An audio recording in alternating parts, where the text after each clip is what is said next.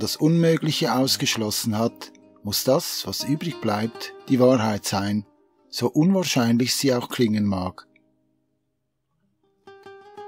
Wenn wir uns die Stiefel überziehen und uns auf die Suche machen, finden wir weltweit Hinweise, die auf eine Schlammflut hindeuten. Alte Gebäude, bei denen ganze Etagen im Boden verschwunden sind, bei denen sich Fenster und Eingänge unter Bodenniveau befinden. Die offiziellen Erklärungen sind überaus dürftig und befriedigen den neugierigen und logisch denkenden Zeitgenossen überhaupt nicht. Sollen wir wirklich glauben, dass unsere Vorfahren solche Schmuddelgesellen waren und all ihren Müll und Dreck auf die Straße geworfen haben, so dass sich mit der Zeit eine mehrere Meter dicke Schicht bildete, die es nötig machte, neue Eingänge zu bauen und die Fenster der unteren Etagen zuzumauern? So alt sind diese Häuser doch gar nicht. Renovationen an Straßen und unterirdischen Kanälen förderten keinen Müll zutage, sondern Dreck und Erde. Die unzähligen Fotos weisen vielmehr darauf hin, dass dieser Dreck einmal eine flüssige Konsistenz gehabt haben muss und sich ebenmäßig verteilt hat, ja geradezu um diese Gebäude herumgeflossen sein muss, in Form einer Schlammflut eben. Und dann sind da die alten Fotos von menschenleeren Städten. Man mag mit der damaligen Belichtungszeit für Fotos dagegen argumentieren, doch wir sehen auch nirgends Spuren eines alltäglichen Lebens. Fuhrwerke, Verkaufsbuden, Abfall, Pferdeäpfel auf den Straßen und Blumen in den Fenstern, zum Trocknen herausgehängte Wäsche und so weiter. Alles fehlt, als ob die Städte unbewohnt sind. Sehen wir hier die Überreste eines Resets, die Überreste eines Kataklysmus, der es nötig machte, diese Städte wieder zu bevölkern? und dann noch mit Waisenkindern, die nach 1800 zu Hunderttausenden mit Schiffen und Zügen in aller Welt herumtransportiert wurden? Wo sind all die Menschen hin, die dies alles gebaut haben? Und woher kamen diese vielen elternlosen Kinder? Was ist da geschehen? Um uns plausiblen und physikalisch schlüssigen Antworten zu diesen Fragen zu nähern, müssen wir, wie Sherlock Holmes Indizien sammeln und auswerten. Und wir müssen die Grundlagen überprüfen, mit denen wir arbeiten. Wir brauchen auf alle Fälle einen guten Spaten, um tiefer in den Schlamm vorzudringen. Was wir haben, sind alte Fotos von leeren Städten, Fotos von Zügen gefüllt mit Waisenkindern und Fotos von Grabungsarbeiten aus der modernen Zeit, die zeigen, dass hier eindeutig etwas vorgefallen sein muss und das nicht nur lokal, sondern weltweit, über alle bewohnten Kontinente verteilt finden wir dieselben Phänomene. Meterhohe Dreckschichten, die von irgendwoher kamen und die unteren Geschosse dieser Gebäude zudeckten. Und diese Gebäude bergen ein Geheimnis. Genauso wie es für viele Menschen ein Geheimnis ist, wer ihre Ur-Ur-Urgroßeltern waren. Es hat den Anschein, als ob in einer turbulenten Gegenwart alles andere dem Vergessen anheimgefallen ist. Fangen wir mit den Gebäuden an. Diese Gebäude kann man sich anschauen, man kann sie anfassen und selbst begutachten. Was für eine weltweite Katastrophe könnte so eine Schlammflut also verursacht haben? War sie natürlich oder menschengemacht? In der offiziellen Geschichte der letzten Jahrhunderte gibt es keine Hinweise auf weltweite Kataklysmen. Man findet höchstens eine Häufung von Vulkanausbrüchen, zeitlich versetzt, die allesamt als lokale Ereignisse katalogisiert werden. Es gab klimatische Veränderungen, Kälteperioden und Hungersnöte, die Menschen dazu zwangen, nach Amerika oder Südafrika auszuwandern und dort neu anzufangen. Es gab Überschwemmungen, Erdbeben und Veränderungen in den Landschaften. Alte Karten belegen dies, doch auch hier werden solche Vorkommnisse als lokale Ereignisse eingeordnet oder gar als Irrtum der Seefahrer und Kartenzeichner abgetan. Doch wer die alten Karten studiert, der findet Veränderungen, die viel zu groß und viel zu massiv sind, als dass sie nur beiläufig abgehandelt werden können. Wie leicht wäre es doch für die Kontrolleure, die Geschichtsschreibung so zu verändern, dass alle diese Katastrophen in zeitlichem Abstand erscheinen und nicht miteinander als einziger Kataklysmus, Wie wir wissen, wäre dies für die Mächte im Hintergrund nur allzu einfach. Konzentrieren wir uns also auf die Dinge, die wir auf der Erde finden, sehen und anfassen können und lassen den manipulierten Mainstream, New Age und andere esoterische Erklärungen einmal außen vor. Nahezu alle archäologischen Fundstätten sind unter hohen Dreck verschüttet. Der größte Teil aller Bäume auf der Erde ist nicht älter als 250 Jahre. Kalifornien erscheint auf alten Landkarten als Insel und es sind große Binnenseen, Landschaften, Flüsse, Städte auf allen Kontinenten eingezeichnet, die es heute gar nicht mehr gibt. Vergleicht man die alten Karten mit den heutigen, kann man daraus schließen, dass vor nicht allzu langer Zeit etwas geschah, was Auswirkungen auf die ganze Erde gehabt hat. Eine weltweite Katastrophe, die überall mehr oder weniger gleichzeitig stattfand, eine Katastrophe, die Seen und Städte verschwinden ließ, Landschaften und Küstenlinien veränderte und einen einschneidenden Einfluss auf die Zivilisation gehabt haben muss. In der offiziellen Geschichtsschreibung ist, wie gesagt, nichts davon zu finden, und erst in den letzten Jahren haben einige wenige erfolgreich damit angefangen, das offizielle Narrativ zu hinterfragen. Es gibt auch die Theorie, die von einem langen, hochtechnisierten Weltkrieg vor über 200 Jahren ausgeht, welcher an den großen Wunden der Erde immer noch erkennbar sei. Doch ein Krieg muss nicht unbedingt die Ursache für die vielen unerklärlichen Krater, Löcher und Formationen auf der Erdoberfläche sein. Sucht man hingegen in alten Schriften, so findet man mannigfaltig Hinweise auf weltweite Katastrophen.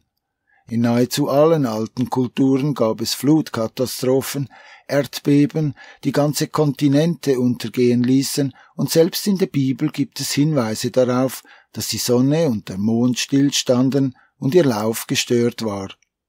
Ebenso in der Offenbarung und auch Überlieferungen anderer Kulturen spielt die Sonne mit unerklärlichen Veränderungen eine Rolle.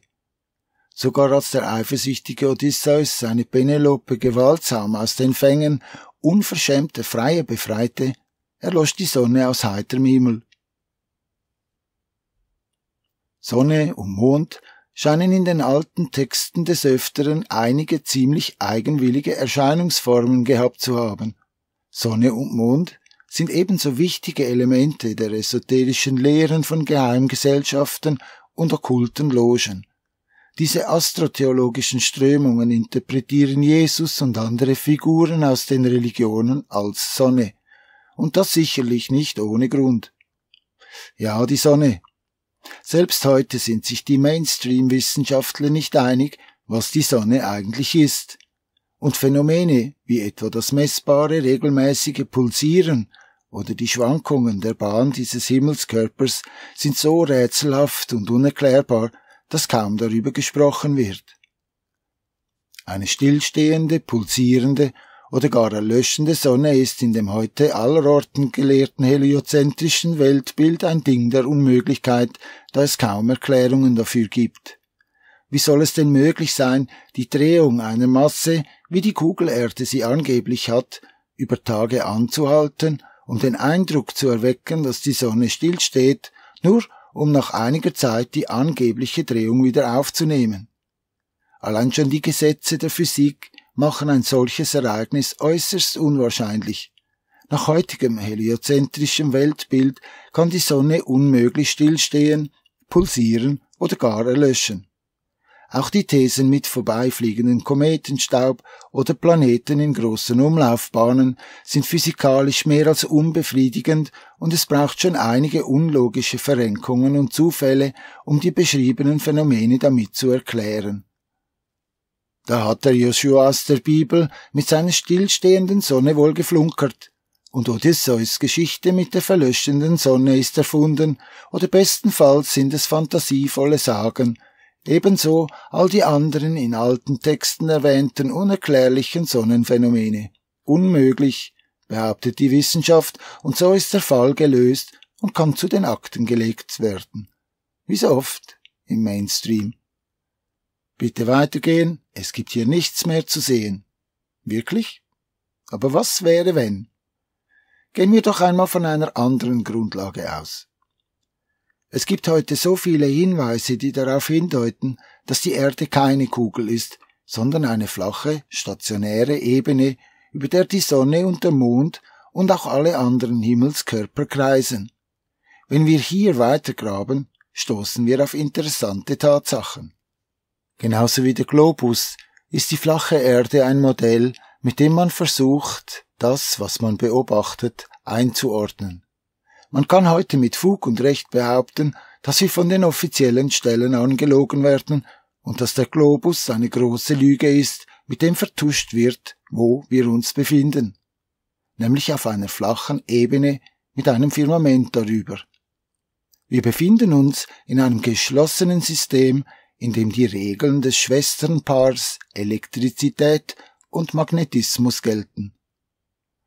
Die zum Teil recht aggressive Reaktion einiger Zeitgenossen auf diese Behauptungen, ohne sich dabei jemals mit dem Thema auseinandergesetzt zu haben, zeigt nur, wie fest und grundlegend die Programmierung eines heliozentrischen Weltbildes ist. Einem Weltbild, mit dem die okkulten Sonnenanbeter mit Hilfe einer völlig korrumpierten Wissenschaft ihren eigenen Gott, die Sonne, in den Mittelpunkt gestellt haben. Die flache Erde ist ein riesengroßer Themenkomplex und lässt sich nicht an einem Abend abarbeiten.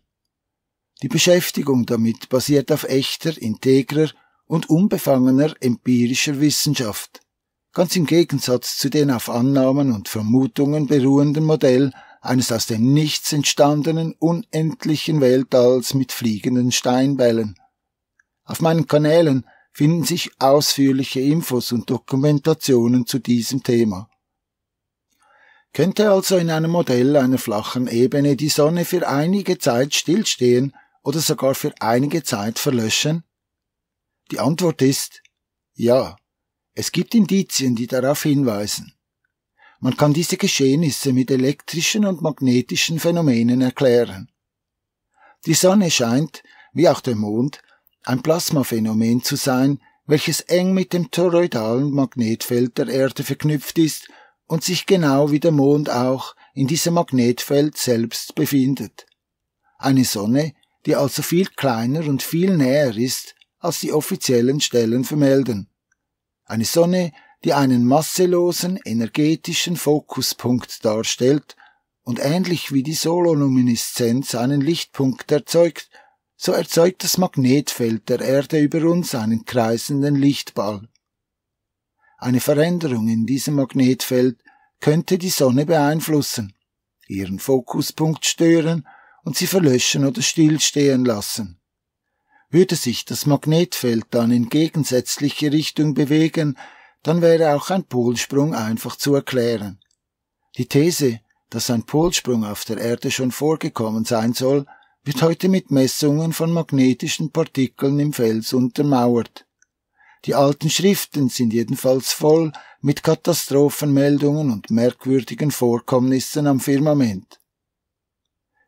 Beschreibungen von Katastrophen findet man nicht nur in alten Texten, sondern auch in Prophezeiungen der letzten Jahrhunderte aus vielen Kulturen.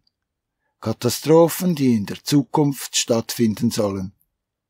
Viele Prophezeiungen und nicht nur alleine aus dem europäischen Raum, sprechen davon, dass die Sonne nach einer Katastrophe im Westen aufgehen soll. Ebenso soll eine dreitägige Finsternis stattfinden.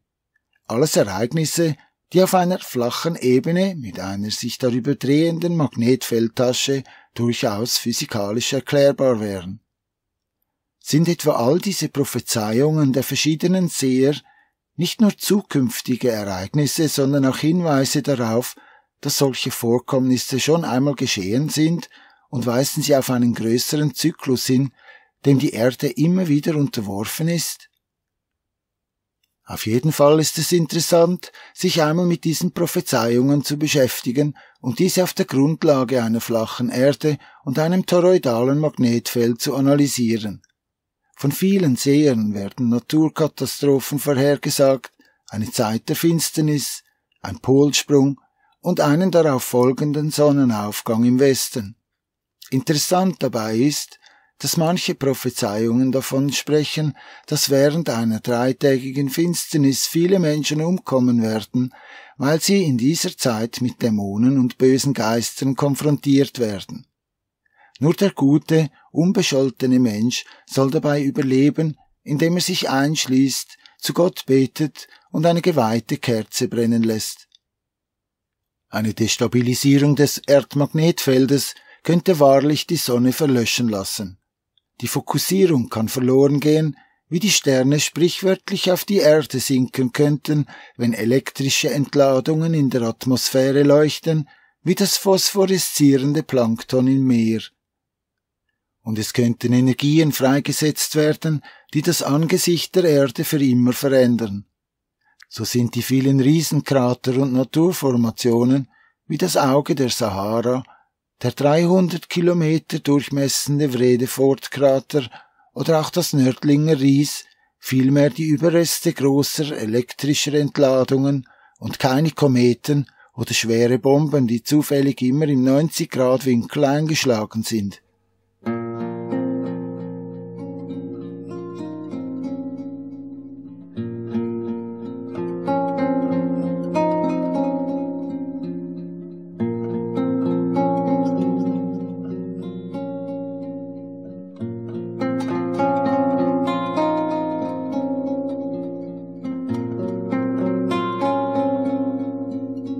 Waren Riesenblitze. Solche Krater und Schründe lassen sich skaliert mit elektrischen Entladungen in einem Labor reproduzieren.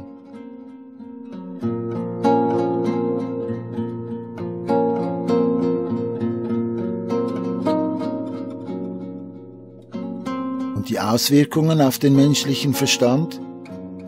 Wir wissen heute, dass Magnetfelder einen großen Einfluss auf die geistige Verfassung eines Menschen haben.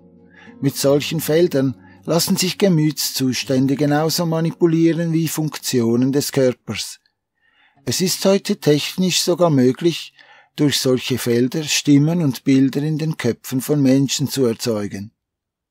Es wäre also gut möglich, dass die in den Prophezeiungen beschriebenen Phänomene durch eine Veränderung des Magnetfeldes verursacht werden könnten, und es ist ebenso möglich, dass dies auch schon einmal geschehen ist. Menschen, die Dinge tun, die sie nicht tun sollten, Dinge, die ein schlechtes Gewissen erzeugen, Menschen, die gegen ihre eigenen inneren Überzeugungen leben und handelten, können sehr wohl an veränderten Magnetfeldern zugrunde gehen. Wenn die eigenen Dämonen feste Form annehmen, einen verfolgen und wenn die Jagd in Selbsthass, Wahnsinn und einem bewussten Todeswunsch endet. Es scheint ganz so, als ob Menschen, die ihre eigenen Schatten, ihre dunklen Seiten nicht integriert haben, in einer solchen Situation sehr schlechte Karten haben. Bei einem solchen Ereignis würden zwangsläufig weit viel mehr Kinder als Erwachsene überleben. Kinder, deren Herzen noch rein und unschuldig sind und die keine Schatten und Dämonen haben, an denen sie zugrunde gehen können.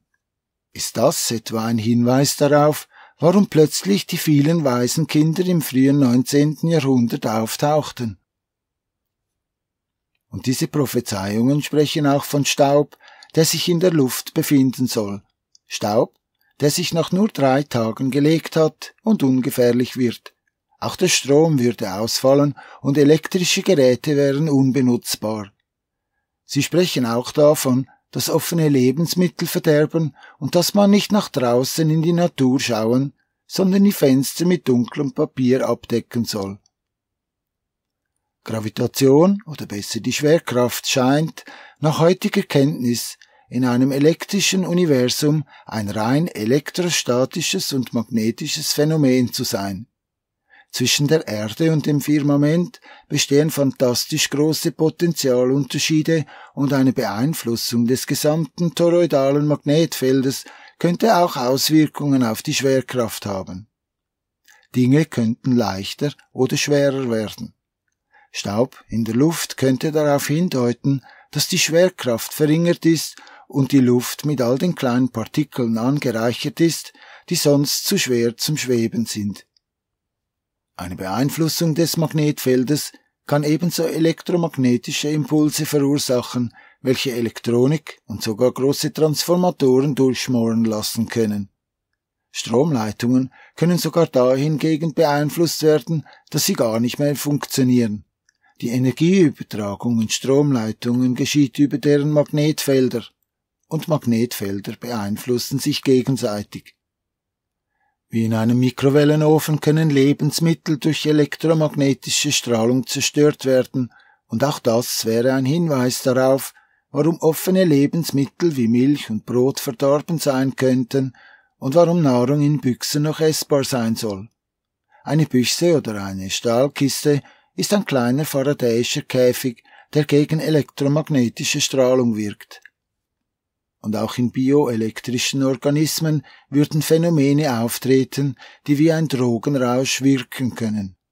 Da der menschliche Körper ein bioelektrisches System ist, sind natürlich auch die Sinnesorgane bioelektrisch und deren Signale können durch die An- oder Abwesenheit von Magnetfeldern beeinflusst werden und eine Art mentale Sehkrankheit mit Halluzinationen verursachen.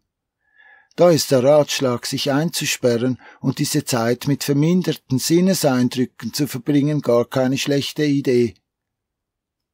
Fassen wir diese These einmal zusammen.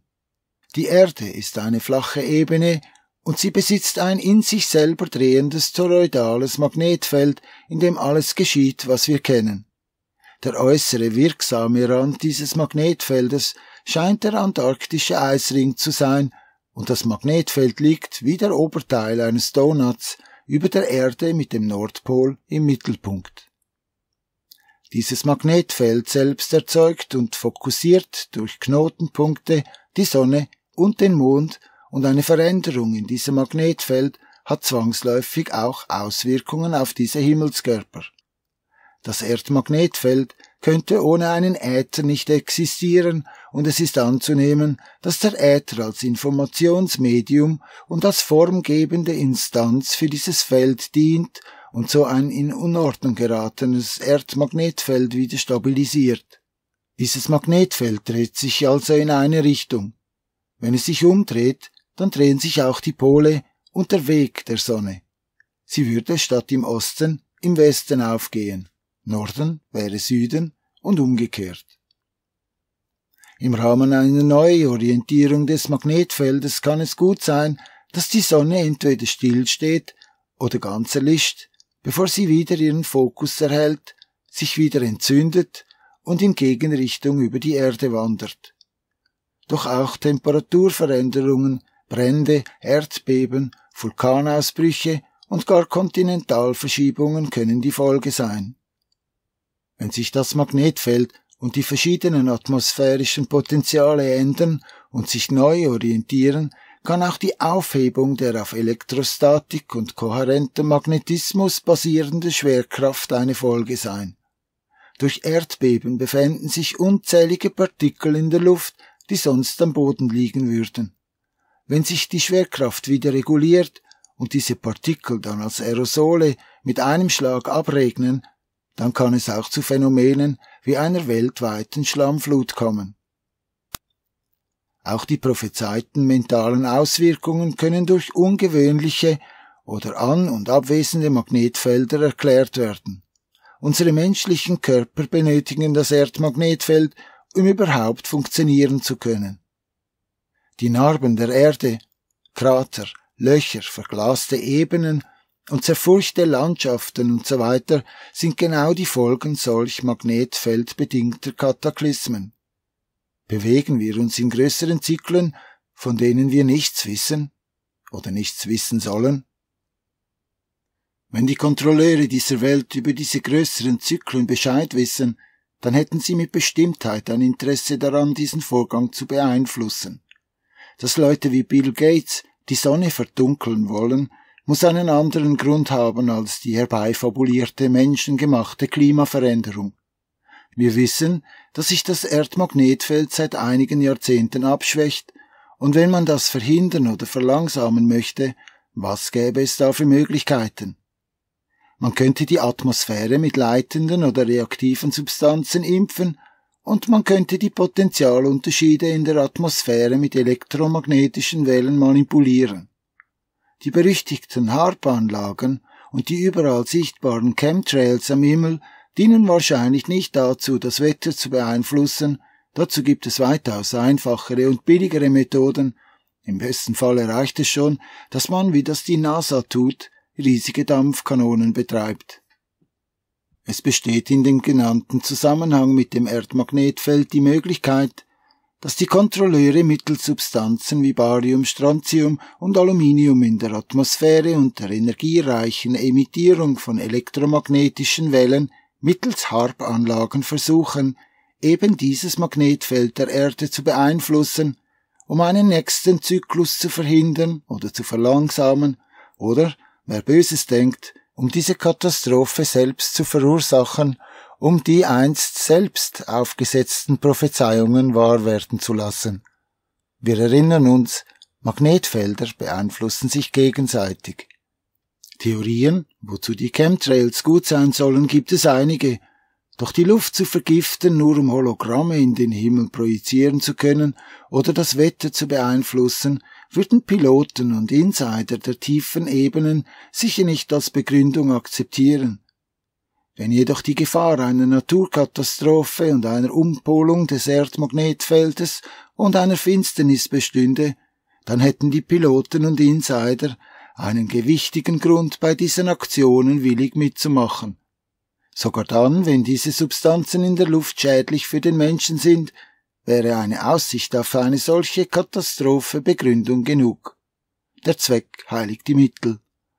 Und wenn sich eine Umkehr des Magnetfeldes verhindern lässt, dann sind auch die Opfer solch giftiger Stoffe in der Atmosphäre ein weitaus kleineres Übel als die Milliarden von Opfern, die eine solche Veränderung im Magnetfeld fordern würde. Man bräuchte es diesen Leuten nur zu erzählen, und einen Schweigekontrakt würden die allermeisten wohl willig unterzeichnen. So können wir weiterhin auch annehmen, dass unsere Vorfahren auch schon wussten, wie unser Magnetfeld zyklischen Schwankungen unterliegt. Oder haben diese auch versucht, das Magnetfeld und die Sonne zu beeinflussen? Hat dieser überall zu findende Sonnenkult etwas damit zu tun? Ist dies ein natürlicher Zyklus oder ist der Mensch selber die Ursache, weil er mit eigenen Magnetfeldern in der Schöpfung herumpfuscht? So viele Fragen und so wenige Antworten. Alles, was wir haben, sind alte Fotos, alte Gebäude, unsere Augen und unseren Verstand. Wir suchen Indizien, stellen Hypothesen auf und suchen nach logischen Zusammenhängen. Wir sehen die Gebäude, die Keller, die Türen und Fenster unter Bodenniveau auf allen Kontinenten. Wir sehen Bauten, die es nicht geben dürfte, Landkarten mit Veränderungen, die es nicht geben dürfte, und wir haben die alten Fotos von riesigen menschenleeren Städten. Wenn es denn eine Katastrophe gab, wo sind dann all die Menschen? Die Stiefel sind schmutzig und der Spaten wird schwer, von dem vielen Schlamm, und doch graben wir weiter. Wenn wir auf unsere Friedhöfe gehen, finden wir selten ein Grab, das älter als 200 Jahre ist, wenn überhaupt. Wo sind denn all die anderen älteren Gräber? Wir finden etwas, wenn wir hinab in die Unterwelt steigen. Massengräber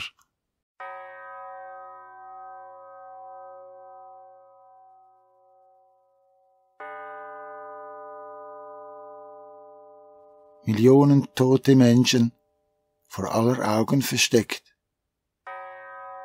Wir finden sie in den geheimnisvollen Katakomben etlicher Großstädte.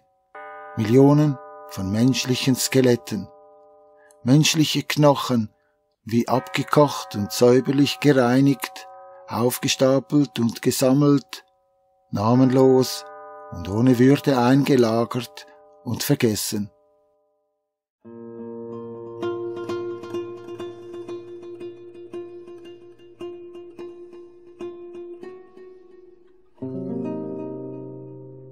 Warum sehen diese Knochen alle etwa gleich alt aus? Was ist mit diesen Menschen geschehen?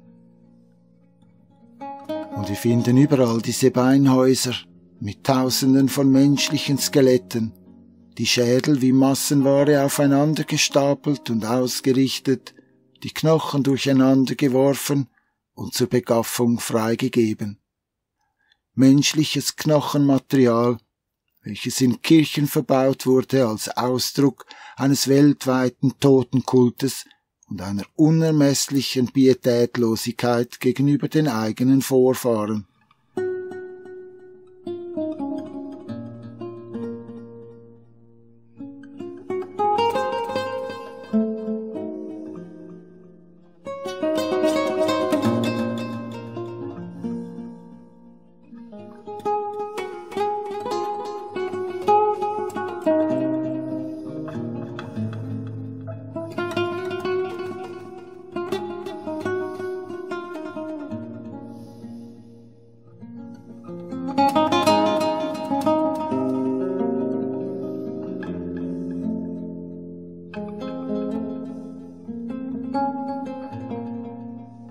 Doch, nach längerer Betrachtung dieser Bilder fällt einem etwas auf. Es sind keine Skelette von Kindern zu sehen, keine Kinderknochen und Kinderschädel, nur Millionen namenlose Erwachsene. Sehen wir hier etwa die sterblichen Überreste unserer vergessenen Vorfahren, welche die letzte Finsternis nicht überlebten und sind wir dann selbst nicht die unwissenden Nachkommen eben dieser in alle Welt deportierten weisen Kinder? Gab es diese dreitägige Finsternis schon früher einmal? Vielleicht. Es sind alte Texte und Prophezeiungen, die uns eine Richtung weisen. Ob und wann sich die Prophezeiungen erfüllen, steht auf einem ganz anderen Blatt. Doch können wir feststellen, dass auf einer flachen Erde die genannten und prophezeiten Phänomene durchaus möglich sind. Es ist aber auch klar, dass Prophezeiungen oder prophetische Texte, wenn sie unklar gehalten sind, für viele verschiedene Interpretationen herhalten können und noch mehr können Prophezeiungen dazu dienen, Menschen zu ängstigen und damit zu manipulieren. Doch selbst den alten Überlieferungen und Prophezeiungen sollte man mit Skepsis begegnen. Die Kontrolleure erzählen uns Menschen immer wieder, was wir hören wollen, und es wird alles getan, um uns davon abzuhalten, dass wir unsere eigenen Stiefel anziehen und schmutzig machen, um selbst zu suchen und zu graben und die eigene Geschichte zu erforschen. Wir haben Indizien. Wir kennen die Wahrheit nicht, wir kennen die Vergangenheit nicht. Sie wird uns vorenthalten, um uns zu schwächen.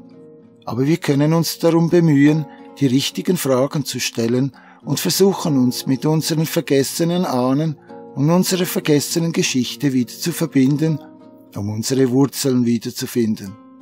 Wurzeln, die wir in einer stürmischen Gegenwart und in einer noch turbulenteren Zukunft dringend brauchen.